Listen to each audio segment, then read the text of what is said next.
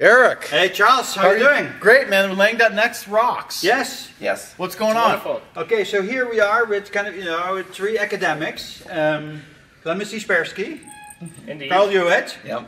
and Hello. what we're going to do is we're going to talk today about actors. Everything you always wanted to know about actors, but were afraid to ask. Excellent. We can now ask the questions to the guy that invented actors. Because actors, people talk about actors here, actors there, but they use it in a very informal sense. Right. But Carl has, you know, has a very kind of, you know, precise meaning of what an actor is, and that's what we're going to kind of, you know, suck out of his brain today. and Clemens is going to help me with that. We'll suck. Yes. That's right. Okay. You do a good job of it Yes. too. Right Right. on. So, so, so, Carl, what is an actor? It's not somebody that's kind of is in a TV show or like us right now, No, right? no. The, the, the actor is the fundamental unit of computation. As the fundamental of unit of computation, it has to embody three things. Okay. It has to embody uh, processing because you've got to get something done. Okay. It has to embody storage because you have to be able to remember things and store things, and and it has to be able to embody communications. So an actor is the fundamental unit, the primitive unit that embodies all three essential uh, elements of computation. I made a mistake here, sorry. I started to count with one. Yes. Okay. You're getting old. Yes, uh, yeah, yeah, uh, Okay. too long out of the Netherlands, you know, it's like, you know, Dijkstra is kind of, you know, yeah. So, so now, okay, so this is great. So an actor embodies these three things. Now, Yes. people often kind of, you know, when, when they talk about actors, they talk about like, you know, mailboxes and message queues and concurrency and locks. And so, um, h- how does that fit into this picture? Right, that's a very good question. Um, the first thing is that um, we have to be reminiscent of E.O. Wilson. E.O. Wilson famously said, said that one ant is no ant, right? Well, one actor is no actor. They come in systems. Yep. And so they have, in order to come in systems, they have to have addresses so that one actor can send a message to another actor. And there's no reason an actor like Factorial can't have an address for itself. So that's the way you implement recursion. Okay. Okay. Then, but then the actors are very abstract because beyond this, okay, all we have is certain fundamental properties of actors. For example, suppose the first property is that everything is an actor. Okay. And then you say, an actor has a mailbox. Well, a mailbox is an actor, so now the mailbox needs a mailbox. Yep. Yes. This Yes, is a disaster. Yes, so now we're going down the rabbit We're hole. going down the rabbit hole, that's right. right. So, So, where does the recursion end? with the axioms. Okay, good. Axioms. I love That's that. right, yes. I love Okay. axioms. Very solid. Yes. Yes. So, what are the axioms The first axiom is when an actor receives a message, okay. Now I'm well, using kind of yeah Yes. axioms. I'm using kind of, Axioms, you that's know, right, yeah. Roman numerals What for can that. it do? All it can do is it can create some more actors. It can send messages to actors that it has addresses before. And it can say, it can designate what it's going to do with the next message it receives. And that's it. Everything else has to be done out of that. Mm. Okay, so the third thing again. Just The third thing is you designate what you're, how you're going to handle the next message you receive. Okay, good. That is does have that something to do with continuations? Uh, well, no, because continuation was an old idea for the von Neumann machine. Ah, okay. continuation is the lambda expression that you execute after you finish doing the current one. Okay. So that's a that's a single-threaded kind of idea. okay. So this Whereas, whereas this, this, this has to do with concurrency. If you're a checking account, right, and you have a balance of five dollars, you might receive a, a, a, a, a deposit message with six dollars. Now your balance is eleven dollars, Yeah. right? So you say, when I process the next message, I process it with a balance of eleven dollars. Okay. I don't change any of the names I have now. I'm just the change applies to the next message that comes in. Okay. So, so then I, I have I have like a, a clarifying question. So here you say that you know. So when how does because here it says you know you, you, you kind of you know decide or designate what you do with the next message, but this message loop here, No right? loop. Or uh, there's no loop, but where where is the kind of are, are can an actor run do things many things in parallel, or can it only kind of you know send messages to the other ones, create new ones, and and kind of you know Okay. in Now, now, nominally, the first approximation, it processes as one message at, at a a time. time? Okay. But implementers know how to pipeline messages in certain cases. And in the case when you're in the case when you're going to process the next message in exactly the same way you're processing the current message, somebody like Factorial, Yep. you can do all of them at the same time. So Factorial can be processing arbitrarily many messages at the same time.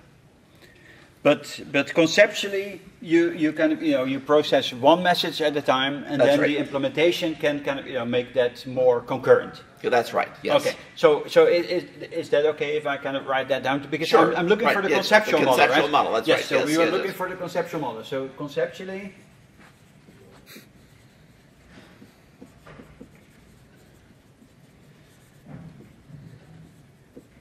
okay. So now, of course, the the, the question. And you put an asterisk on that because it, the, the loopholes are large. Okay, so um, so uh, I'll Quote, yes, right. quote it like that. So now the, the, the question is, what happens if an actor sends a message to itself? You know, maybe directly or mm-hmm. indirectly.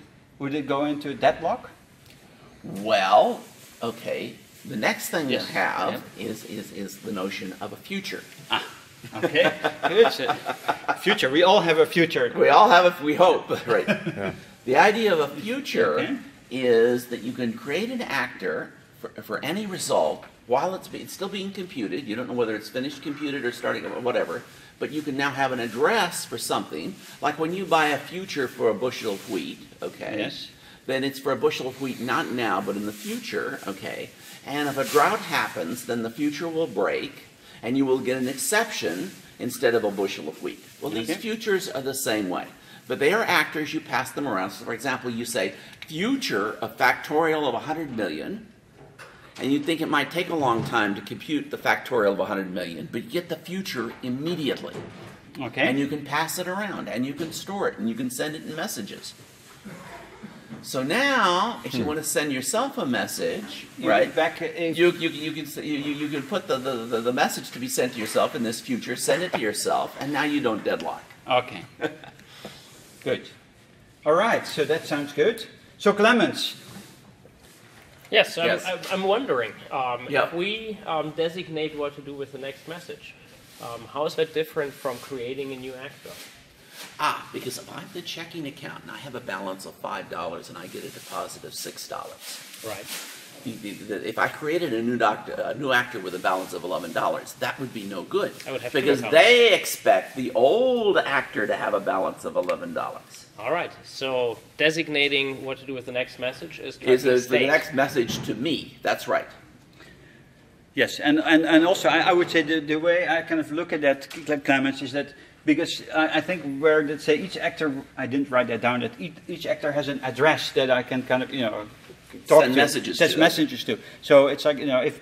If I, if, I, if the if the actor was a chicken and I chop off its head, you don't get like a copy of the of the of the chicken without the head, and the other one still has its head. So, I think the, the actor actually kind of you know Yeah, Um, but the actors are yes. very powerful chickens. Yes. The actor has to agree to chop off his own, own head. Yes, exactly. Yes. That's very zen. yes. All you can do is send him a message saying, you know, please commit seppuku, okay? Yes. And it can send back an exception saying, I don't think that's a good idea. So would then the address of an actor be equivalent to its identity? No, question. because you can have one actor, one address for a whole bunch of actors if you're replicating behind the scenes. Okay. And one actor can have many addresses. Okay. that forward to one another. So there's a many to many relationship among actors and addresses. And is actor identity discoverable What would you think you mean by identity? if I hold? If you, Can I you- hold you- actors as values? no, all you have is addresses. All so you have is compare two addresses as to whether the addresses are equal or not, Mm-hmm. and that tells you nothing. So then, how do I know, at any level of looking at my system, whether I have one actor or multiple actors behind an address? You cannot tell. I cannot tell. You cannot tell. Because, for example, when you do a search on Google, Google has one uh, address, Google.com, yeah. Right?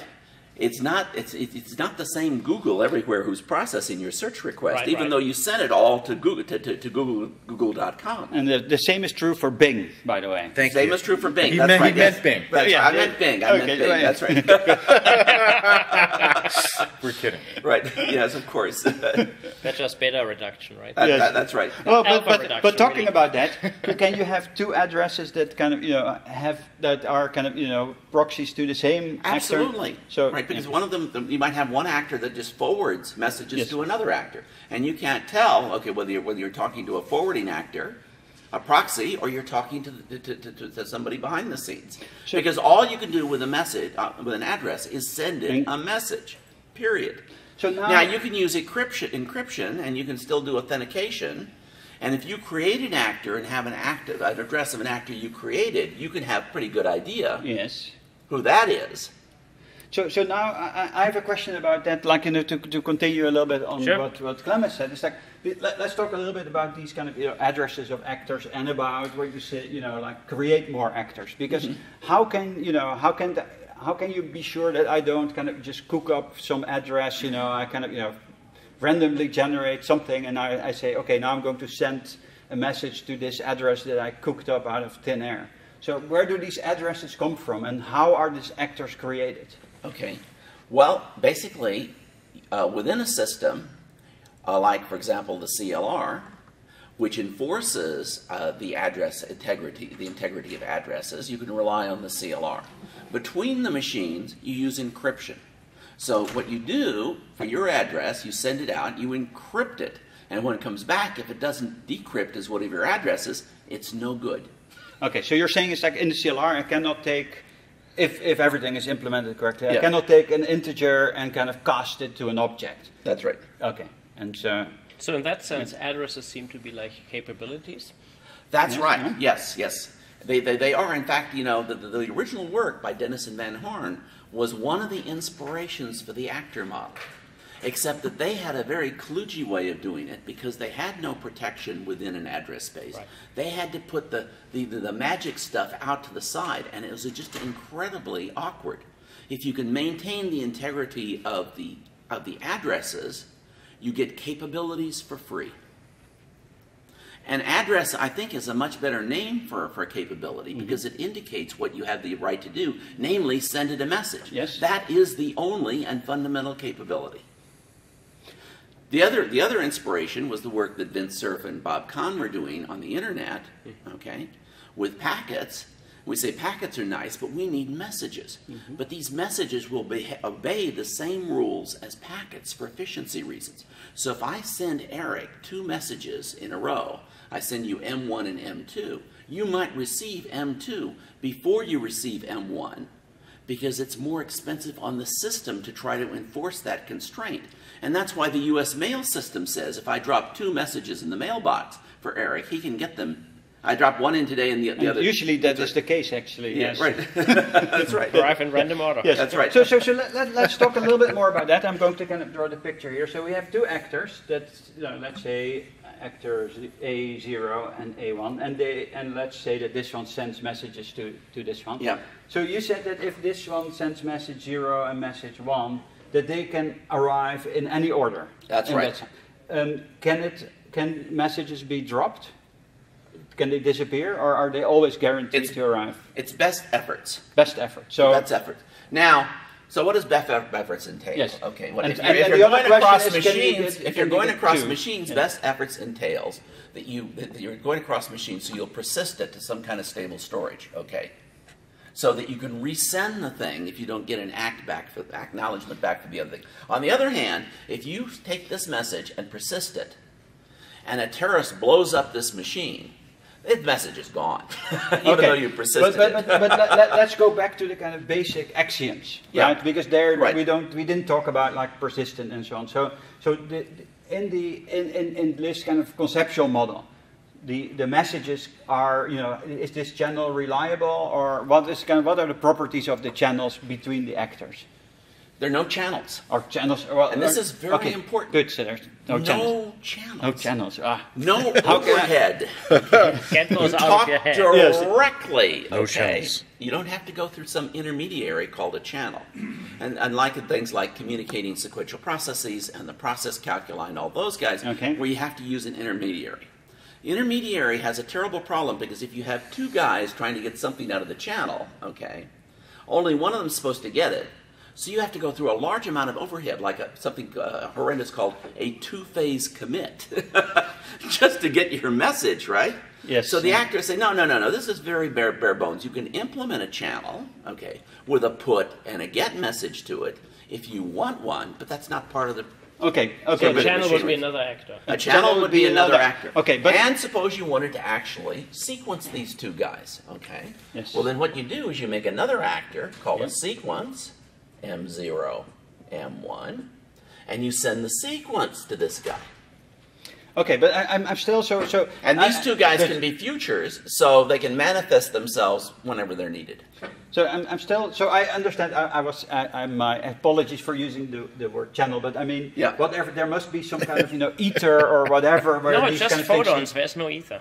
or photons, but these things must communicate. So I was I was looking for what Yeah. are the properties of that you know of the communication Right. between in in in the, in the very abstract. So so so. So it tries very hard to deliver every message. But can it duplicate messages? No, a message will be delivered at most once. At most, at most once. Okay, That's right. One or zero times, and in arbitrary order. And it could take a long time. If this message No goes bound. through a mail Yes. server in Timbuktu, it might be like one of these messages to Queen Victoria that's discovered behind a closet in the in the mail in the Yes. post office when it's torn down and is delivered a hundred years later. Yes, or like you know, message in a bottle kind of you know floats But over that the that sea. flows over the sea. That's Yes. right. Yes, that's Yes. right. Yeah. And so another thing that you often talk about is non-determinism. And you already kind of talked about that when with, Yeah. with channels, you know, that two people have to kind of get it out now. Yeah. There's a race. So uh, how does and, and arbiters, you know, Yeah, that's right. another kind of beautiful right. thing. So how does that fit in this picture? The first thing to do is And this, these are, and that, Yeah. just like these are not actors on TV. The arbiters are not like in a tennis match, right? They're, they're. Th- th- they- that's right. They're not. Yeah. But but the ones in the tennis match might be made out of these. Yes. the ball is out.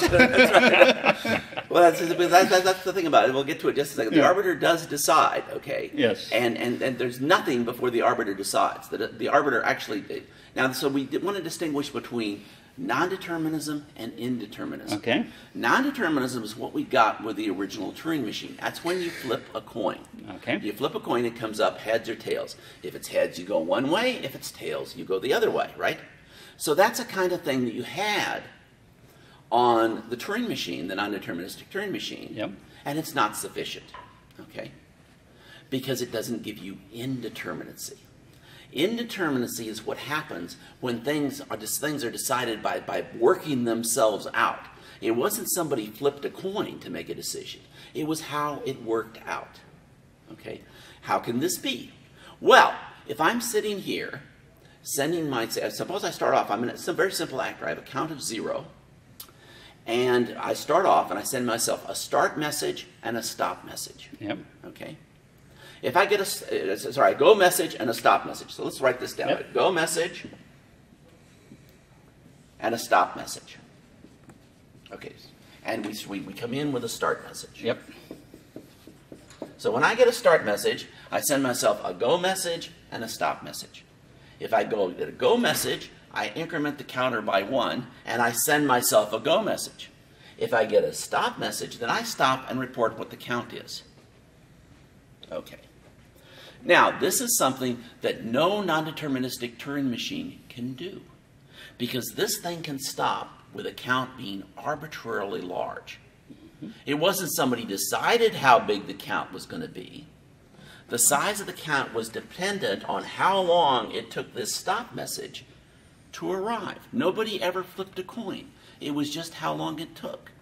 So this is a way where you move, okay, from non-determinism, non-determinacy to indeterminacy.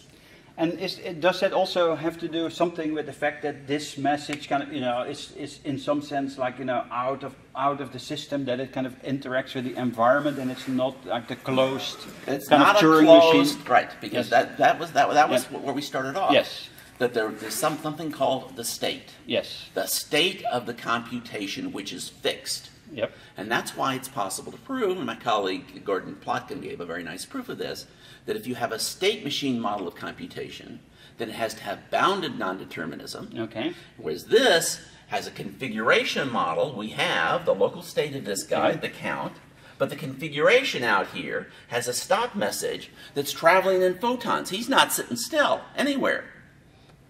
So this is a configuration-based model of computation, which is more powerful because it incorporates communication than the state-based approach. Yes, so so so that is an interesting thing. Like there's there's some like uh, recently a lot of people think that like Turing machines are what defines uh, computability, Yeah. but but you're saying that really interaction with some kind of you know open environment is Yep. kind of you know it definitely changes what a computation means because that is the difference between non-determinism and indeterminism. Is That's that right. correct? That is correct, yeah.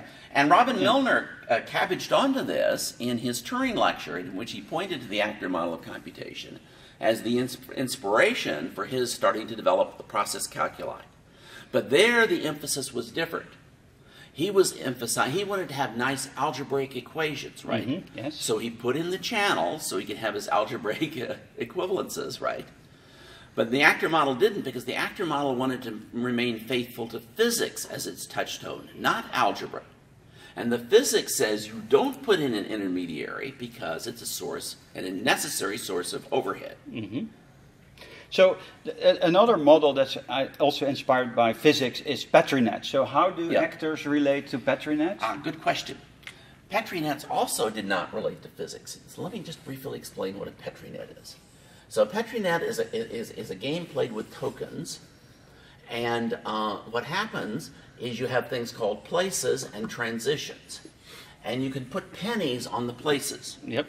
And if all if, if you have pennies on all the input places of a transition, this is the output place, you can take both pennies off simultaneously and put one penny on the output place. Okay? Well, we're to follow law, uh, Dijkstra and call upon the law of the excluded miracle. The excluded miracle is that these two pennies at different locations can both disappear at exactly the same time because this one might actually be the input place of another transition over here. And this one could be the input place of another transition over here.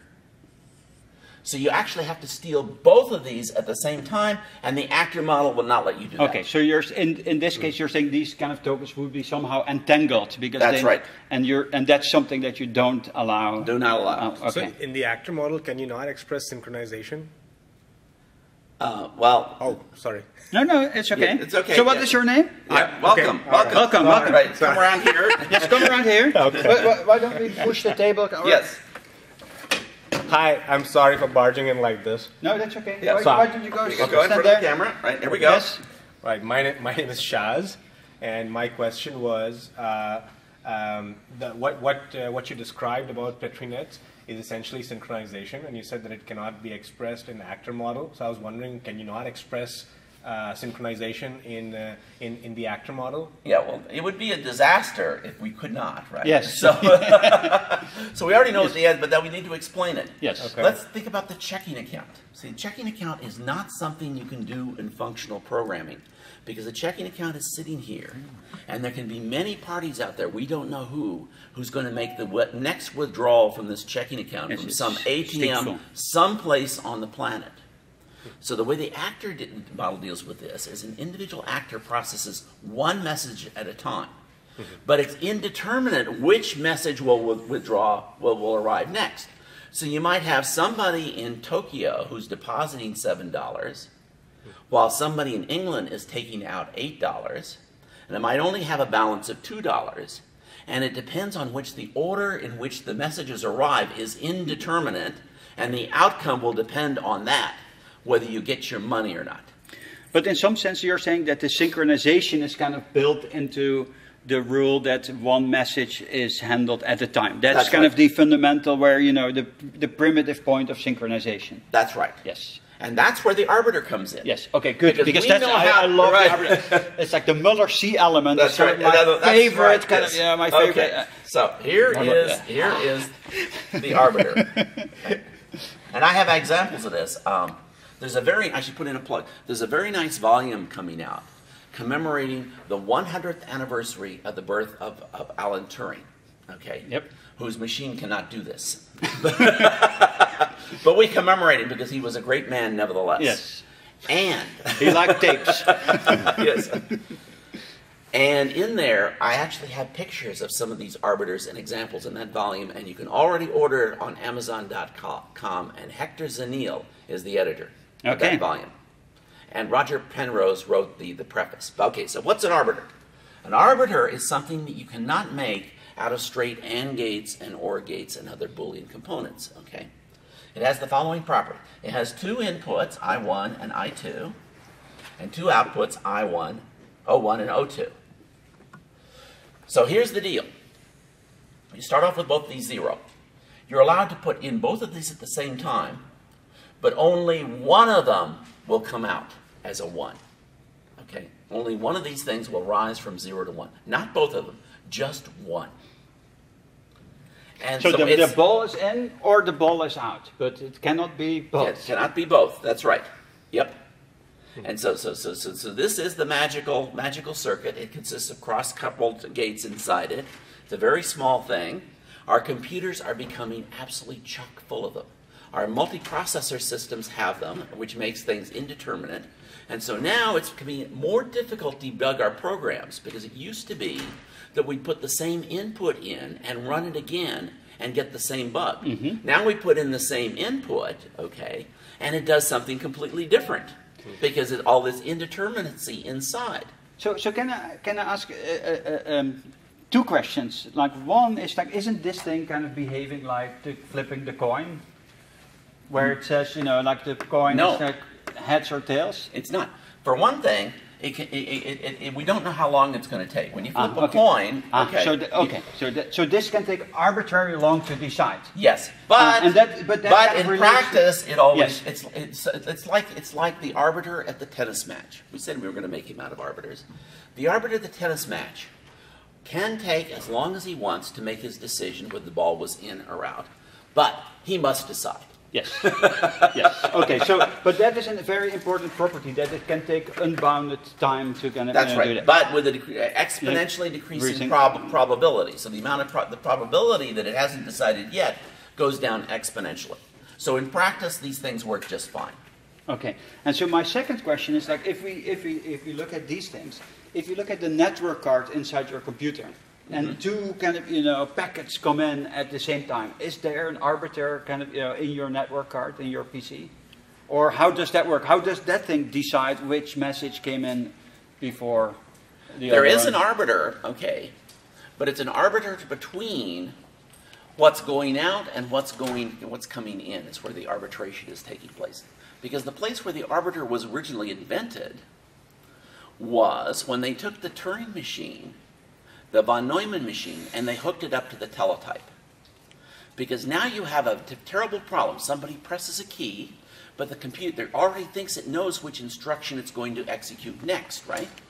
So you, you, you want to have a, a- a piece of code to process the character and a piece of code to do what it was going to do before, and now you've just invented concurrency, and you need an arbiter to decide which piece, which, pro, which, which value of the program counter to pick next. Is it going to be from the interrupt handler, or is it going to be from the, the, the program that was running before? Yes, but but this is interesting because you mentioned Dijkstra before, but didn't Dijkstra kind of you know do a lot of stuff with interrupt handlers and the THA kind That's of right, you he helped invent this. Yes, And then- and then he forgot about it, And he then, rejected it. and then ideology took its course. ah, okay.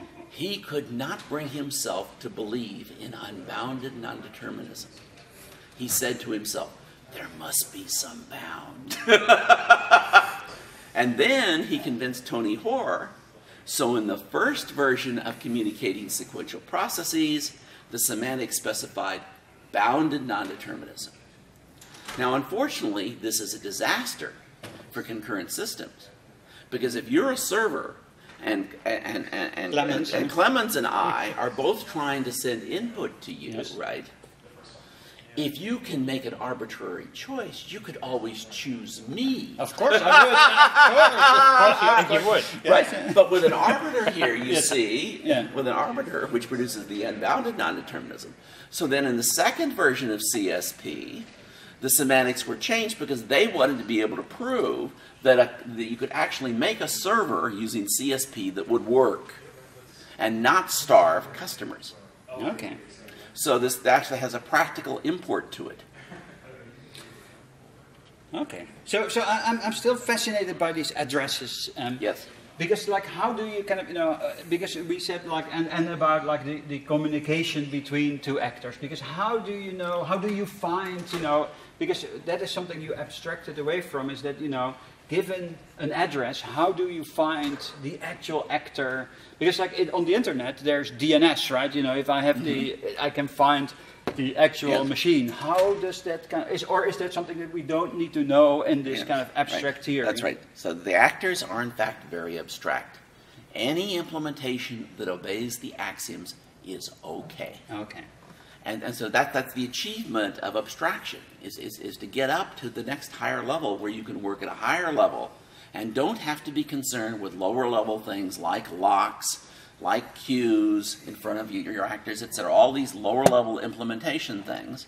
But then they get, they also give, and this is the thing that's taken this, you know, so the longest time, lots of opportunity to, to do good engineering to optimize. Mm-hmm. Yes. And this is becoming extraordinarily important with the many cores. Yep. Because as soon as you have a thousand cores on your, on, on, on, your chip, the world has changed. The programmer who writes the program now knows nothing about the environment in which it it runs. It Yep. doesn't know what the load is. It doesn't know how many cores there are. It doesn't know what its priority is. It knows nothing. So hmm. that the code now has to be written at this higher level of abstraction, so it can be adapted at runtime to the current circumstances. Yep. So, so, so Clemens, I, I have a question for you to tie this because Yep. you, you wrote a book on software components.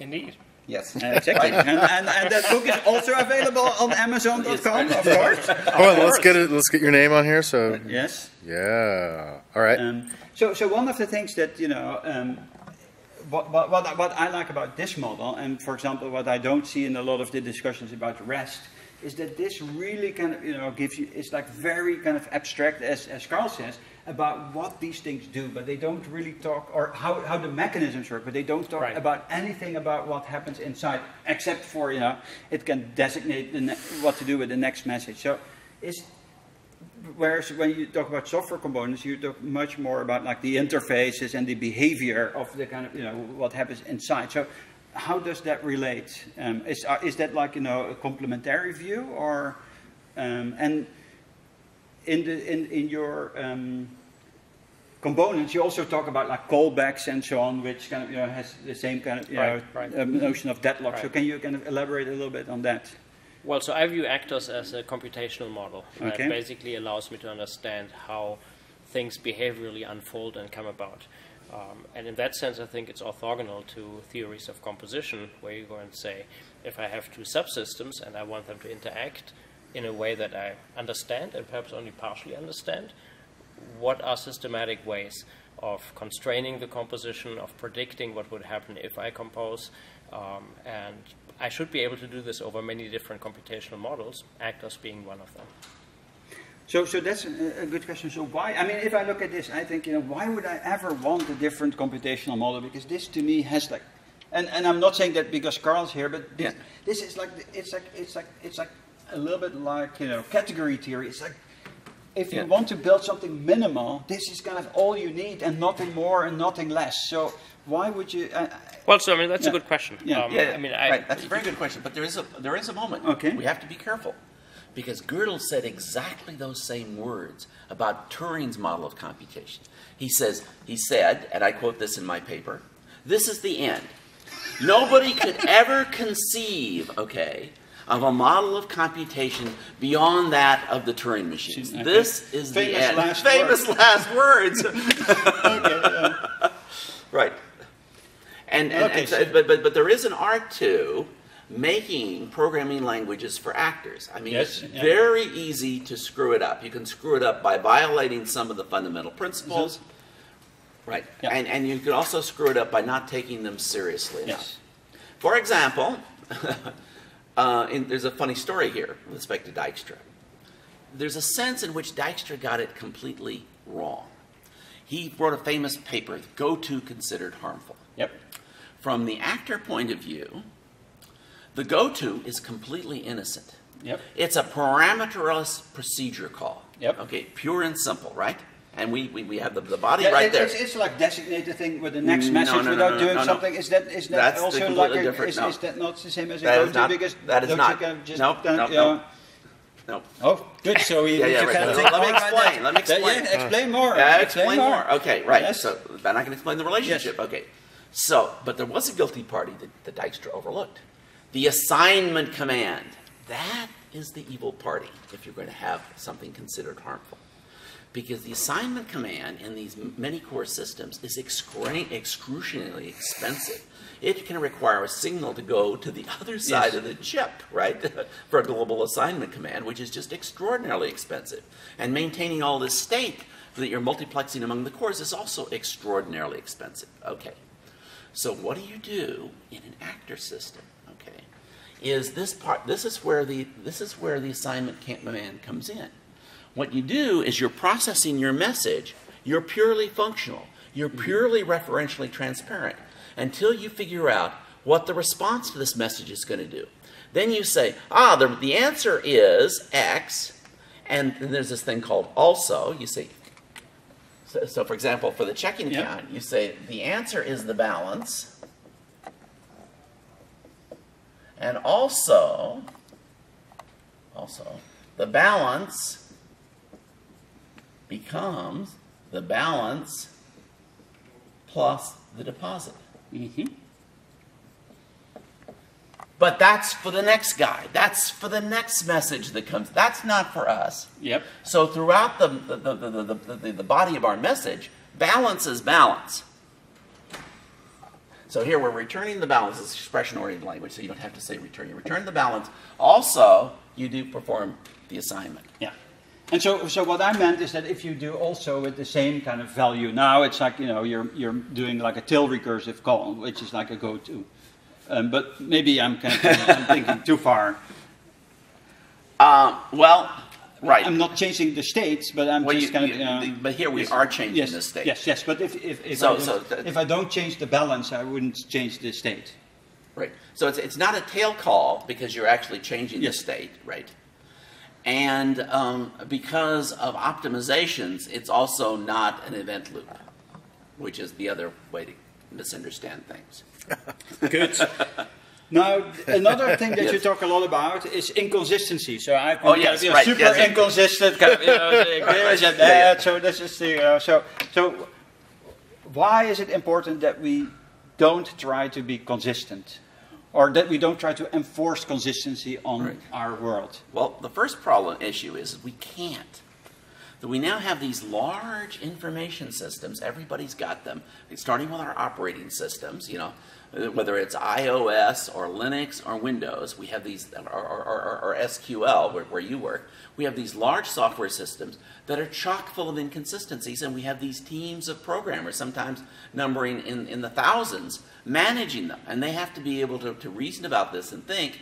And you can't pretend that it's consistent because the program manager can open a drawer and says, "Here's 10,000 what we already inconsistencies we already know about." Okay, so and, and, and similarly on the internet, the information out, out there is all inconsistent, right? And so talking about truth is just crazy. Yes, it's is, like is the, Elvis alive or dead? well, that, well, that's the well that, that was the thing about Schrodinger's cat, Yes. right? Right. Well, the, the cat can be half dead, Yes. right? I mean, you can you, because there was a, cyanide in there, and it was supposed to be an alpha Yeah. particle, right? That the world was, but but if the cyan- cyanide particle's gone off, and you reach in there, and and, and, and the cat only has a little bit of the cyanide, we can res- res- resuscitate the cat, okay? Yes. So there are things there are things that are clear that get pretty far up, but the fundamental situation is that we don't know much, and some of it's wrong. Yep. that is that is that is the situation which we find themselves. So it's kind of useless to deny it, okay? Because then your emperor uh, has no close mode, and it's also kind of crazy to be in Darth Vader mode to think you're going to wipe them out because you can't do that either. Yep. So we have to have, and we had this this this this, this symposium which you Yep. came down and uh, participated in. a Yes, very nice. and then you should tell us where we can Yes. download the Right. proceedings. Yes, yes, yes. So that is in uh, robust. 11.org. Good. Yes. Yes. So, so there's the proceedings there, and um, uh, there's the, and if you if you look it up, it's inconsistency.